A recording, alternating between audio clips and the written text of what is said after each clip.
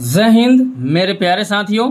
आज के इस वीडियो में आपको बताऊँगा हिंदी पद्य पर आधारित बहुविकल्पी प्रश्न। देखिए यहाँ से टोटल पाँच नंबर का क्वेश्चन आएगा, बहुविकल्पी प्रश्न आएगा, ठीक है? जो बहुविकल्पी के रूप में होगा, और हाँ साथ में चाहते हैं आपका नब्बे परसेंट से पंचानवे परसेंट रिज़ल्ट बने तो चैनल को अभी सब्सक्राइब करके चैनल से जुड़ जाइए, क्योंकि इस चैनल पर सभी सब्जेक्टों के मोस्ट इंपॉर्टेंट क्वेश्चन कराए जा रहे हैं बोर्ड एग्ज़ाम से रिलेटेड घर बैठे आप बोर्ड एग्ज़ाम की बेहतर तैयारी कर सकते हैं इस चैनल के माध्यम से। कहीं आपको इधर उधर भटकने की ज़रूरत नहीं है चैनल को अभी सब्सक्राइब करिए और इस चैनल से जुड़ जाइए। फ़ायदा आपको ही होने वाला है। चैनल को सब्सक्राइब किए रहेंगे तो नोटिफिकेशन आपके पास तुरंत जाएगा और घर बैठे आप वीडियो को वॉच कर पाएँगे, ठीक है? तो इसके पहले आपने देखा हिंदी पद। में आपने कुछ युग के बारे में पढ़ा और उसमें आपने ये पढ़ा कि उन कौन से लेखक की कौन सी रचनाएँ हैं, वो मैंने आपको बता दिया। अब उसी पर आधारित यहाँ पर क्वेश्चन बन रहे हैं। ऐसे ही क्वेश्चन आएँगे, मैं 25 क्वेश्चन यहाँ पे कराने वाला हूँ। पच्चीसों को आप ध्यान दे लीजिएगा, ठीक है? हो सकता है इसी में से आपके बोर्ड एग्ज़ाम में क्वेश्चन पूछ ले, ओके? और अपने नोटबुक भी नोटबुक में इसको लिखिएगा ज़रूर। चलिए फ़र्स्ट क्वेश्चन मैंने लिया है। निम्न में से रीत काल की कलावधि है। कलावधि या समय सीमा बोल दे तो आप ध्यान दीजिएगा, यह समय पूछ रहा है। तो यहाँ पे ऑप्शन है मेरा, सोलह सौ ईस्वी से अठारह ईस्वी तक। तेरह सौ तिरालीस ईस्वी से सोलह सौ तिरालीस ईस्वी तक, सात सौ तिरालीस ईस्वी से तेरह सौ तिरालीस ईस्वी तक, अठारह सौ तिरालीस ईस्वी से आज तक। तो यह आपने वीडियो इसके पहले वाला देखा है, हिंदी पद्य वाला लेखक और उनकी रचनाएँ इंपॉर्टेंट युग के बारे में मैंने वहाँ बताया है। तो कमेंट में मुझे बताइए कौन सा ऑप्शन सही है, ठीक है? तो फ़िलहाल मैं साथ में आंसर कराते चल रहा हूँ, इसका पहला आंसर सही है, ठीक है, पहला ऑप्शन इसका सही है। और मुझे लास्ट में ज़रूर कमेंट करके बताइएगा कितने का आंसर आपको इसमें से पता था, कितने क्वेश्चनों का आंसर पता था जो आपने सही सही जवाब दे पाए हैं अपने आप से, ठीक है। दूसरा क्वेश्चन है, आधुनिक काल की समय अवधि है। देखिए, समय सीमा, समय अवधि, कला अवधि, ऐसे पूछे घुमा फिरा कर ठीक है। समझ लीजिए समय की ही बात कर रहा है। तो आधुनिक काल की समय सीमा क्या है? आधुनिक काल, आप कमेंट करके बताइए मुझे कि आधुनिक काल। आधुनिक काल समझ लीजिए वर्तमान मॉडर्न की बात की जा रही। तो वर्तमान किसमें अठारह सौ तिरालीस से लेकर वर्तमान तक ये क्या है? आधुनिक काल की समय सीमा है। अगला क्वेश्चन है, प्रगतिवादी युग की समय सीमा क्या है? या समय अवधि क्या है? ये सब मैंने पहले वाले वीडियो में बताया। अगर आपने नहीं देखा है तो बहुत मिस्टेक करके आए हो। वो देख के आए होते तो आप खुद जवाब दे लेते इसका, ठीक है? तो चलो देख लेते हैं, प्रगतिवादी युग की समय अवधि है। तो प्रगतिवादी युग की समय अवधि जो है 1936 ईस्वी से उन्नीस ईस्वी तक, ये क्या है? प्रगतिवादी युग की समय अवधि है। ये आधुनिक युग के अंतर्गत ही आता है, प्रगतिवादी युग, ठीक है? चलो, अगला देखते हैं, प्रयोगवादी युग की कलावधि है, अर्थात समय सीमा है। सब क्वेश्चन इंपॉर्टेंट है, इसको आप नोट करते चलिएगा अपने नोटबुक में, ठीक है? तो देखिए दोस्तों, इसका जो राइट आंसर हो जाएगा उन्नीस ईस्वी से उन्नीस सौ तिरपन ईस्वी तक। ओके ये हो गया प्रयोगवादी युग की कलावधि। ठीक है, उसके बाद आते हैं पांचवा जो क्वेश्चन बन रहा है, द्विवेदी युग की कलावधि है। ये सब आधुनिक युग के अंतर्गत आते हैं दोस्तों। आधुनिक युग की जो समय सीमा है, वो है अठारह ईस्वी से वर्तमान तक, आज तक। तो इसके अंतर्गत आपके प्रगतवादी युग, प्रयोगवादी युग, द्विवेदी युग, ठीक है, ये सब युग आ रहे हैं। तो इसमें मैंने आपको बताया प्रगतिवादी युग, प्रयोगवादी युग, अब आपको बताएँगे हम द्विवेदी युग। तो द्विवेदी युग की समय सीमा क्या है? द्विवेदी युग की समय सीमा, चलिए हम इसका डायरेक्ट आंसर आंसर कराते चलते हैं, ठीक है? विकल्प हम नहीं पढ़ेंगे। सीधा जो इसका आंसर होगा, उसको हम आपको बताते चलते हैं, ओके? तो इसका जो राइट आंसर हो जाएगा 1900 से 1918 ठीक है, ईस्वी तक। द्विवेदी युग की जो कला अवधि है 1900 ईस्वी से लेकर 1918 ईस्वी तक यह है, ठीक है? और नेक्स्ट क्वेश्चन है question number six question number six है, तीसरा सप्तक कब प्रकाशित हुआ? तीसरा सप्तक कब प्रकाशित हुआ? तो उन्नीस ईस्वी में तीसरा सप्तक प्रकाशित हुआ था। क्वेश्चन नंबर सेवन है द्विवेदी युग का प्रसिद्ध कवि कौन है? काफ़ी इंपॉर्टेंट क्वेश्चन है। तो द्विवेदी युग के प्रसिद्ध कवि मैथिली शरण गुप्त जी हैं, ठीक है? क्वेश्चन नंबर एट है, साकेत महाकाव्य की रचना किसने की? देखिए अब रचना पे आ गए। किसके रचनाकार कौन है? साकेत। मैंने आपको पहले वाले वीडियो में बताया, हिंदी पद्य में जब लेखक और लेखक रचनाएँ के बारे में बता रहा था तो हाँ मैंने बताया कि साकेत तो साकेत के लेखक कौन है? तो मैथिली शरण गुप्त जी ही है, ठीक है? तो इसका राइट आंसर हो जाएगा, मैं ऑप्शन नंबर ए ओके चलो, बढ़ते हैं नेक्स्ट क्वेश्चन की तरफ़। अब देखिए दोस्तों क्वेश्चन नंबर नाइन निम्न में से रीतकाल की मुख्य प्रवृत्तियाँ, विशेषताएँ कौन सी हैं? प्रवृत्तियाँ पूछे या विशेषताएँ पूछे तो आपको क्या? देखिए, यहाँ बोला है रीतकाल की मुख्य प्रवृत्तियाँ। या उनकी विशेषता क्या है? रीतकाल की। तो रीतकाल की देखिए, श्रृंगार रस की प्रधानता और काव्य में कच्छा पक्ष की प्रधानता, ये दोनों है, अर्थात ऑप्शन नंबर ग सही हो जाएगा दोनों, ठीक है? ऑप्शन नंबर क और ख दोनों सही है। रीतिकाल की प्रमुख विशेषता क्या है? श्रृंगार रस की प्रधानता है, काव्य में कच्छा पक्ष की प्रधानता है, ओके? देखिए, ज़रूरी नहीं कि ये दोनों ऑप्शन आपके बोर्ड एग्ज़ाम में भी दे, हो सकता है कोई एक ही ऑप्शन दे सकता है, ठीक है?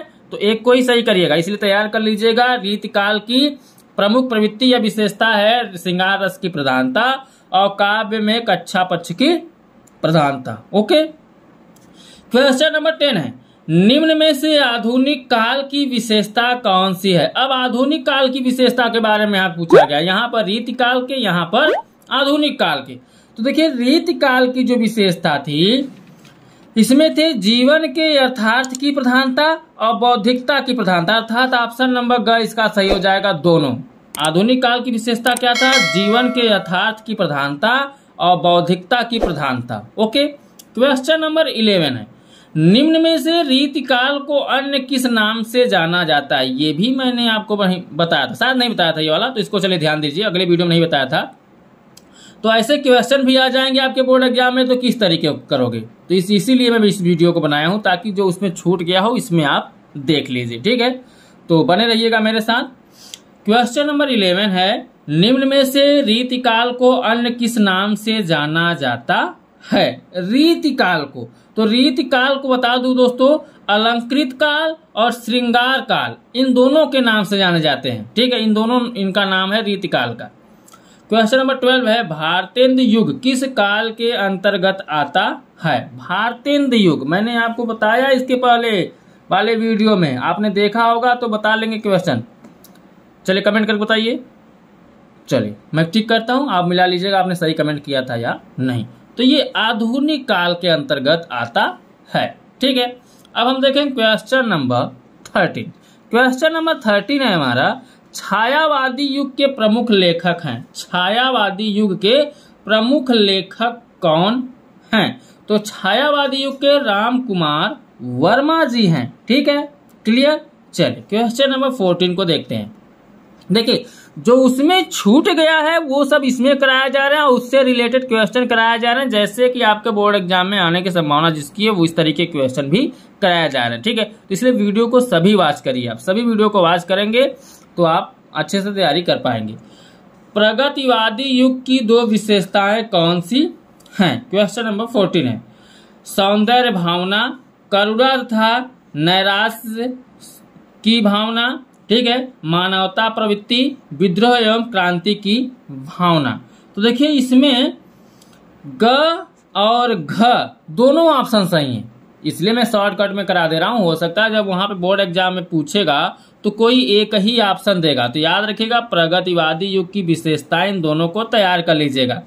मानववादी प्रवृत्ति है, मानवतावादी है और विद्रोह एवं क्रांति की भावना है इसमें। ठीक है? अब हम देखते हैं क्वेश्चन नंबर फिफ्टीन को। निम्न में से छायावाद की दो विशेषताएँ कौन सी हैं? छायावाद की विशेषता की बात किया गया। तो मुक्त प्रकृति चित्रण नहीं है, कविता में हास और व्यंग के पुट का समावेश ये भी नहीं है। इसका राइट आंसर हो जाए ग और घ। श्रृंगार और प्रेम वादना और प्रकृति का समानीकरण, ठीक है? प्रकृति का मानवीकरण, ये दोनों हैं छायावादी की विशेषता। क्वेश्चन नंबर सिक्सटीन है आपका। नई कविता की या नई कविता युग की प्रमुख विशेषता कौन सी है? इसको भी आप अच्छे से तैयार कर लीजिएगा। बौद्धिकता की प्रधानता की गई। नई कविता युग में बौद्धिकता की प्रधानता के बारे में बताया गया तो इसकी विशेषता हो जाएगी बौद्धिकता की प्रधानता। ठीक है? बढ़ते हैं अब हम नेक्स्ट क्वेश्चन की तरफ़। अब देखिए दोस्तों क्वेश्चन नंबर सेवेंटीन निम्न में से मुक्तक काव्य के कवि हैं। मुक्तक काव्य के कवि है, मैंने बताया आपको। इसके पहले वाले वीडियो मैंने आपको बताया था। फ़िलहाल आपको याद हो तो कमेंट करिए, नहीं याद हो तो मैं बता दे रहा हूँ। ठीक है? तो विहारी जी हैं, मुक्तक काव्य के कवि कौन है? Bihari ji. Question number eighteen है। निम्न में से प्रयोगवाद की दो प्रमुख विशेषताएँ कौन सी प्रयोगवाद की विशेषता की बात की गई यहाँ पर, ठीक है? तो प्रयोगवाद में घोर वैयक्तिकता की बात की गई है, यथार्थवादी दृष्टिकोण की बात की गई अर्थात इसका क और ख दोनों विशेषता है, ठीक है? क्लियर चलो, बढ़ते हैं नेक्स्ट क्वेश्चन पर। नाइनटीन कुमकुम किस विधा की रचना है? कुमकुम। तो वो है कविता संग्रह की, ओके? क्वेश्चन नंबर ट्वेंटी है प्लास वन के रचनाकार कौन है? तो प्लास वन के रचनाकार जी, ये हैं नरेंद्र शर्मा जी, ठीक है? क्वेश्चन नंबर ट्वेंटी वन है, रीति ग्रंथ कितने रूपों में मिलते हैं? दो रूपों में, ठीक है? रीति ग्रंथ कितने रूपों में मिलते हैं? दो रूपों में। बाईसवा नंबर क्वेश्चन है, अद्भुत आलाप के कवि हैं। अद्भुत आलाप। तो इनके कवि हैं जो महावीर प्रसाद द्विवेदी जी। ओके चलो नेक्स्ट क्वेश्चन लेते हैं हम यहाँ पे। ट्वेंटी थ्री छत्रसाल दशक के रचनाकार हैं। तो छत्रसाल दशक के रचनाकार है भूषण जी, अर्थात तेईसवें का घ ऑप्शन सही है चौबीस नंबर क्वेश्चन है, ललित ललाम के रचयिता हैं। तो ललित ललाम के रचयिता है मती राम जी। और क्वेश्चन नंबर लास्ट अर्थात ट्वेंटी फाइव है। यामा के रचयिता का नाम लिखिए। तो सुभद्रा कुमारी चौहान जी, इनके लेखक है यामा के।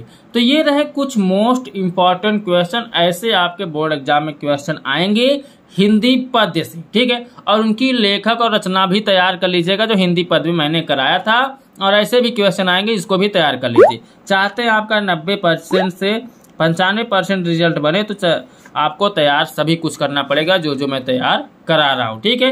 आपको इधर उधर कहीं भटकने की ज़रूरत भी नहीं पड़ेगी। घर बैठे आपको समझ लो एक एक टॉपिक मिल जा रहा है। तो आप सब तैयार करते चलिए, क्या टेंशन है? इस चैनल के माध्यम से आपको सब कुछ मिल जाएगा। सिर्फ़ चैनल को सब्सक्राइब करके रखना है, ज़्यादा कुछ नहीं करना, ठीक है? अभी चैनल को सब्सक्राइब करके इस चैनल से जुड़ना मत भूलिएगा। चलिए हम आपसे मिलते हैं अगले वीडियो में नेक्स्ट मोस्ट इंपॉर्टेंट टॉपिक के साथ। तब तक के लिए बाय बाय जय हिंद, जय भारत।